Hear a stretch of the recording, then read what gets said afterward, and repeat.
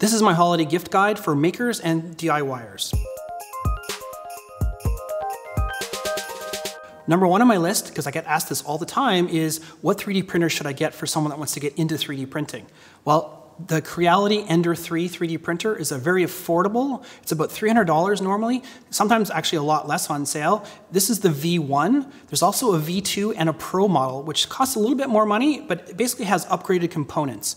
Uh, these are all great machines for the person looking to get into 3D printing, but also really great machines that are just workhorses. I've got two of these. I've had them for a couple years. They're still running strong like they're brand new. There's a huge community on the internet of people that have this machine, so there's a huge uh, support network. There's also a ton of modifications you can do to it that you can download yourself and print for this machine. It uses off-the-shelf parts, so it's very easily uh, replaceable.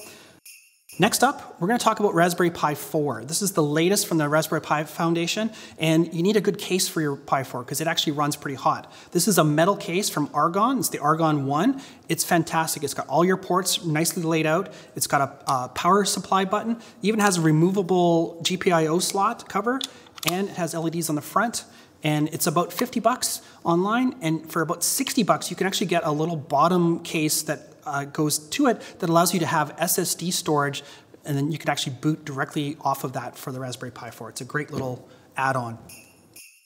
Next up is an electric screwdriver. This is the WOW stick. This is an electric screwdriver for people that spend a lot of time doing uh, electronics repairs, taking screws off laptops, that type of thing. It's got a nice little speed uh, forward and reverse, little LED light so you can actually see what you're doing in a dark case, for example. It comes with about 23 different bits, USB chargeable, and it's only about 50 bucks. And it's actually a fantastic device for someone that spent a lot of time unscrewing tiny little screws.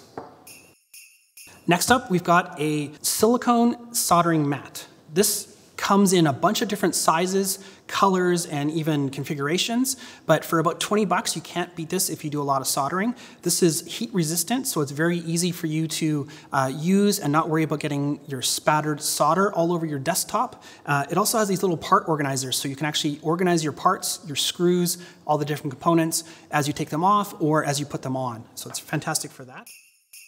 While you're soldering, you're also going to want to use something like this. This is an adjustable PCB holder. This is about 20 bucks online, and it allows you to mount your solder or your circuit board, put your components in, and then flip it around very easily to solder all those things in place. It's a uh, fully adjustable and very handy feature, way better than those uh, third hands that you can buy. My last item is from Korg. This is a DIY pocket synthesizer, the NTS1. This is about $130. It's a kit you put together yourself. There's no soldering required, and it's fully programmable, as well as Korg also released all of the files for the device, so you can actually customize your case, you can 3D print it, you can laser cut it, you can design your own, and it's a really cool synthesizer it's got audio in, so it's an effects processor as well, and you can reprogram hundreds of different sounds that it can make, as well as having MIDI in and USB MIDI, so you can connect it to your computer, to your tablet, to your phone, whatever. It's a fantastic little device for such a small price point. That's my Christmas list. For more information about all this, go to getconnectedmedia.com, check out the blog post, and we have links to all of this stuff there.